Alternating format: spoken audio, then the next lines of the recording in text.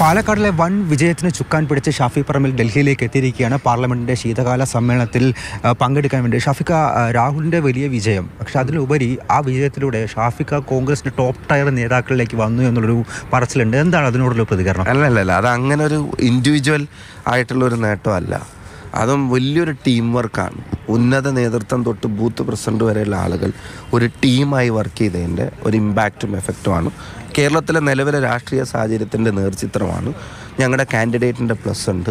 അപ്പോൾ എല്ലാം കൂടെ ചേർന്നിട്ടുണ്ടാകുന്ന ഒരു ടീം വർക്കാണ് ഇപ്പോൾ രണ്ടായിരത്തി പതിനാറിൽ ഷാഫിക്കയ്ക്ക് പാലക്കാടുണ്ടായിരുന്ന ഭൂരിപക്ഷത്തെക്കാൾ രാഹുൽ നേടിയിരിക്കുന്നു. അതിൽ S D P I Jamaat Islami പോലുള്ള സംഘടനകളുടെ വോട്ടുണ്ട് എന്നുള്ള ഒരു ആരോപണം ശക്തമായിട്ട് ഇപ്പോഴും ഉണ്ട് അപ്പോൾ അതിനോടുള്ള ഒരു പ്രതികരണം എങ്ങനെയാണ് ശരി അതും പാലക്കാട്ടെ മതേതര മനസ്സിന്റെ വിജയമാണ്. ഏതെങ്കിലും സംഘടനകൾക്ക് പിന്നെ ക്രെഡിറ്റ് കൊടുക്കാവുന്ന വിജയമല്ല അവിടെ ഉണ്ടായത്. അവിടുത്തെ വോട്ട് ഷെയർ നിങ്ങൾ പരിശോധിക്കുക. ഈ പറയുന്ന പ്രസ്ഥാനങ്ങൾക്കൊന്നും ഒരാൾ പോലും വോട്ട് ചെയ്യാനില്ലാത്ത പ്രദേശങ്ങളിലും ഞങ്ങളുടെ വോട്ട് കൂടിയിരിക്കുകയാണ്. ബി ജെ പിയുടെ പിന്നെ ബാസ്റ്റിയൻ അഞ്ഞൂറും അറുന്നൂറ് vote B J P lead ചെയ്യുന്ന ബൂത്തുകളിൽ പോലും ഞങ്ങളുടെ വോട്ട് കൂടിയിരിക്കുകയാണ്. അവിടെ വേറൊരു സമുദായത്തിന്റെയും പ്രസൻസ് നിങ്ങൾക്ക് കാണാൻ പോലും കഴിയില്ല. അതായത് സന്ദീപ് വാര്യരുടെ വട വരവടക്കം അനുകൂലമായിട്ട് പ്രവർത്തിച്ചു യു ഡി എഫിന്. സന്ദീപ് വാര്യരുടെ വരവ് ഞങ്ങൾ ഇരുപതാം തീയത്തെ പോളിങ്ങിനോ ഇരുപത്തിമൂന്നാം തീയത്തെ വോട്ടെടുപ്പിനോ മാത്രം ഗുണകരമായി കാണുന്ന ഒന്നല്ല. അത് അതിനപ്പുറത്തേക്കും വിഭാഗീയ രാഷ്ട്രീയം വർഗീയ രാഷ്ട്രീയം ഉപേക്ഷിച്ച ഒരാൾ വരിക എന്ന് പറഞ്ഞാൽ അത് കേരളീയ പൊതുസമൂഹത്തിന് മൊത്തത്തിൽ ഗുണപരമായിട്ടുള്ള കാര്യമാണ്.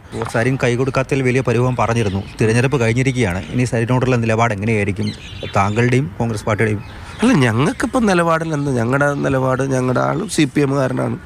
അവരുടെ സ്ഥാനാർത്ഥിയായിട്ട് മത്സരിച്ച ഒരാളെ. അനേക ആളുകൾ അങ്ങനെ മത്സരിക്കുന്നുണ്ട് ജയിക്കുന്നുണ്ട് തോക്കുന്നുണ്ട്. അതിലൊരാളും കൂടെ. എന്നുള്ളതേ ഉള്ളൂ. അതിന് ഞങ്ങൾക്ക് അങ്ങനെ വ്യക്തിപരമായിട്ടുള്ളൊരു റൗണ്ട് ഇട്ട് വിരോധവും പകയൊന്നും കൊണ്ടെടുക്കേണ്ട ആവശ്യമൊന്നും ഈ തെരഞ്ഞെടുപ്പിലും ഉണ്ടായിട്ടില്ലല്ലോ.